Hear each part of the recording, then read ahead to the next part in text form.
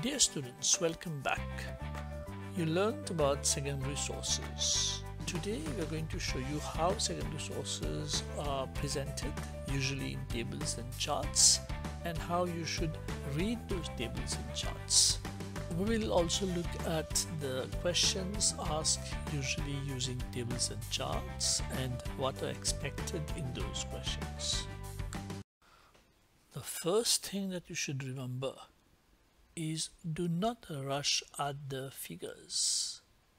Usually when you find a table or a chart, you tend to rush and look at the figures and get confused. But follow the steps I'm going to indicate, you should not have problems. Let us look at how to read a table.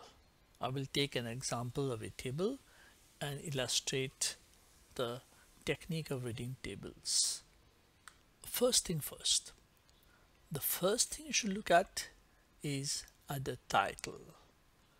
It tells you what the table is about. This table you see on the screen is about questionnaire survey measuring well-being in UK in other words it's the result of a questionnaire where they conducted a survey to find out how people feel about themselves in UK. It says source A. Very often in the examination, examiner says refer to source A or refer to source B. When there's only one chart also the right source A, it means the chart which is there presented to you source A and source B. Sometimes I say source A for the first chart, source B for the second chart. Or if it is source A only, it means there is only one chart.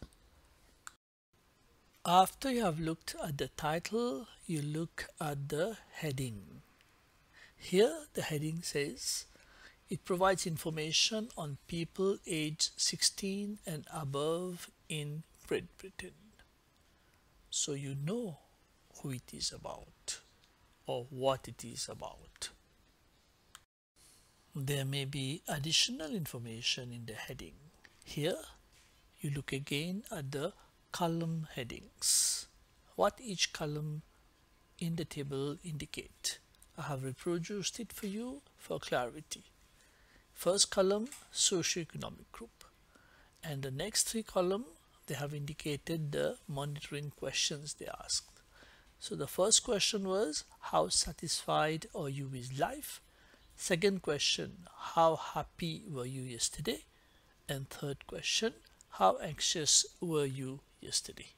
So these are indicated in the column headings. Next, you look at the column stub. Now, what is the stub? Maybe you come across this word for the first time. It is the vertical column at the far left of the table. It indicates the marital status, the household size and the economic activity of the people. And all these are further detailed in the rows. For instance, married, civil partnership, cohabitation, single, widow, divorce, separated or former civil partner, one uh, person household, two or more person, in employment, unemployed, economically inactive. All these are indicators of what are found in the rows. You understand now what we mean by the stub. Still, before you start looking at the figures, look at any additional information in the note, usually at the bottom of the table. Here, it tells you how to interpret the figures. The scale starts from 0, which refers to not at all, to 10, which refers to completely. In other words, if somebody indicates something close to 10, the person is giving a high rating or if a person indicates something close to zero he or she is giving a low rating now it is finally time to look at the data one by one And to understand the data, you should match the row with the header. The first data tells us that the level of satisfaction among married or civil partners, their level of satisfaction is on the header. The married or civil partnership is on the stub. And if you match these, you see the figure 7.7, which is quite high, being close to 10. In other words, people who are in marriage relationship or civil partnership have a high level of satisfaction close to 10. I would advise you still not to worry so much about the figures. Why? It's better to look at the questions asked and then you refer to the specific figures which you are asked to explain in the question because most often the questions will not be about all the figures you see in the table. I hope you understand now why I told you to not rush at the figures and to follow the steps indicated.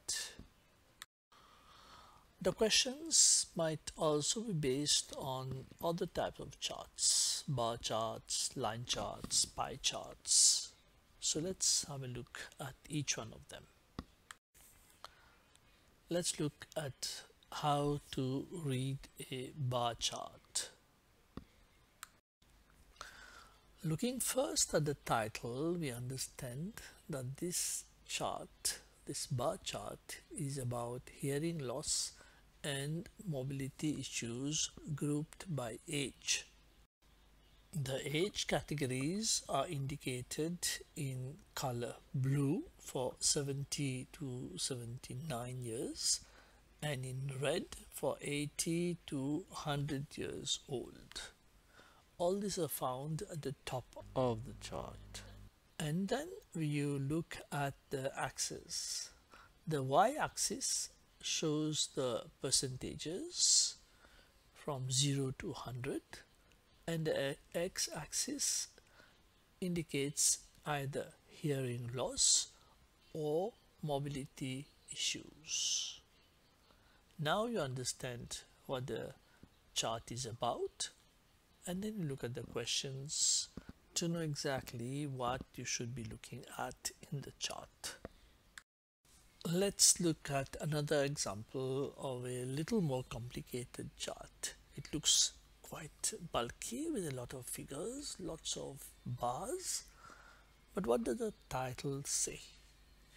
The title percentage of children aged 0 to 4 years living with a mother who experienced any physical, sexual or emotional violence by a husband or partner during the past 12 months.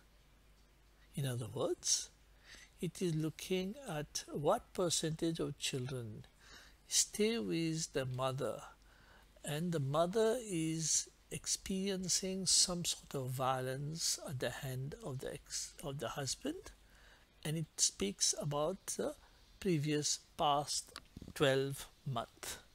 Then you look at the x-axis at the bottom which shows the percentage from 0 to 55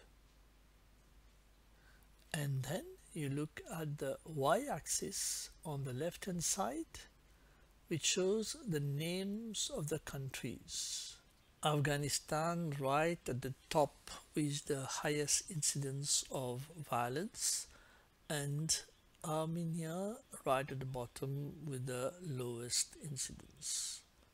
Then you go and look at the questions the examiner is asking so as to know which figures you should look at more carefully. Let us now look at how to read a pie chart. Look at the heading. It says what it is about. The caption is when I shop at the airport, it's usually, in other words, when do people shop at the airport? Then look at the color code. at the bottom of the chart. Each color signifies something. Red is heading to a destination. Violet is on my way home. Orange is both.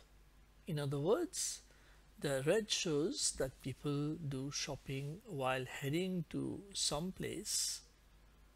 Violet, they do shopping while coming back home.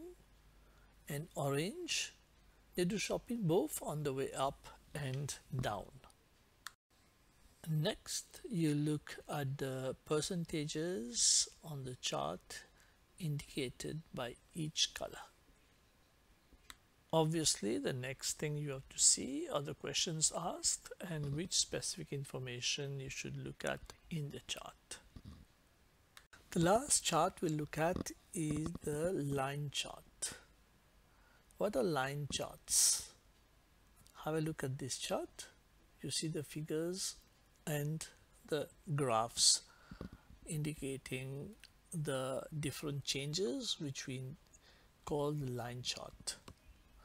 You look at the heading first. It says motor vehicle crash death in US.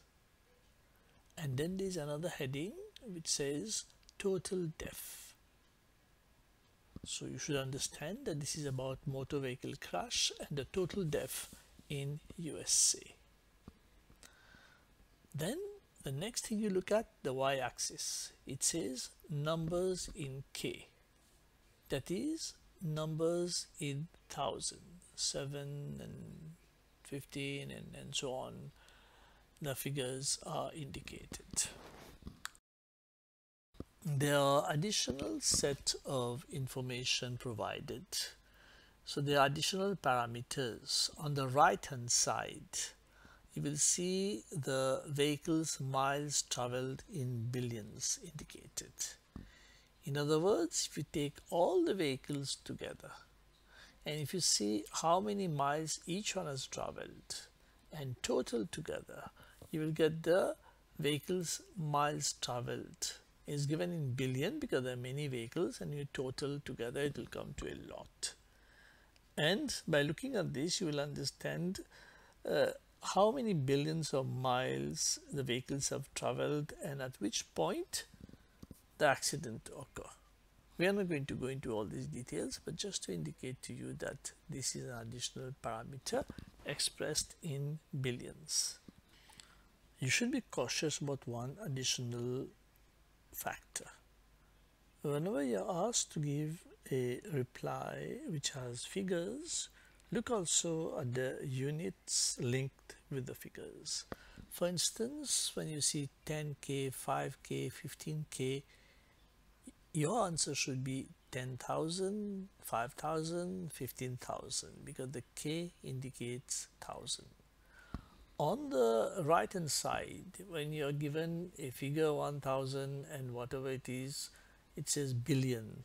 So when you're answering the question, you look at the figures carefully and you explain, you say for example, 636,030 billion or 318,018 billion.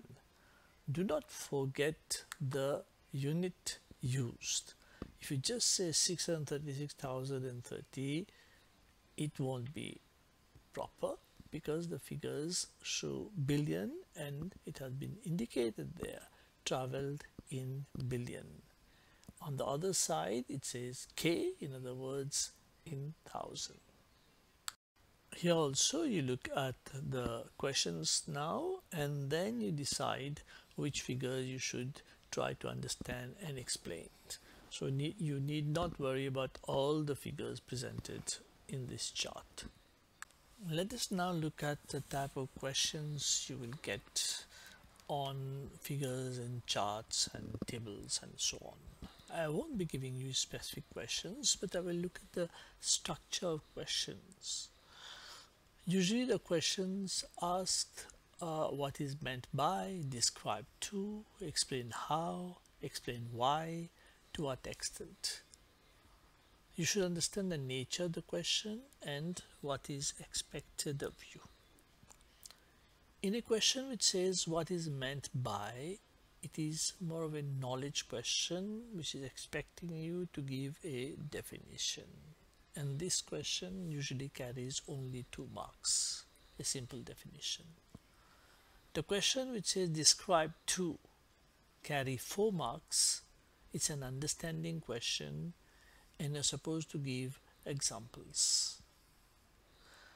A question which says explain how usually carries six marks. It's an analysis question where you're supposed to elaborate with examples, compare, differentiate. A question which says explain why carries 8 marks and it is an interpretation question where you're expected to give reasons why and justify. And finally, the question to what extent carries 15 marks and it is an evaluation question. Here you have to give examples and arguments to agree, examples and arguments to disagree with a proper introduction and a conclusion. Remember the previous lesson where I taught you how to answer a 15 marks question. It applies here also. So these are the types of question you will get using secondary data such as charts and tables and all these things. We have now reached the end of this lesson. Let us now recapitulate what we did. We looked at uh, how to read a table, how to understand various types of charts, bar chart, pie chart and line chart. We also look at the types of questions asked and what is expected of each question. In the next lesson, we'll try to wind up with this chapter on research methodology it was nice talking to you. We'll see you very soon and for today it's goodbye.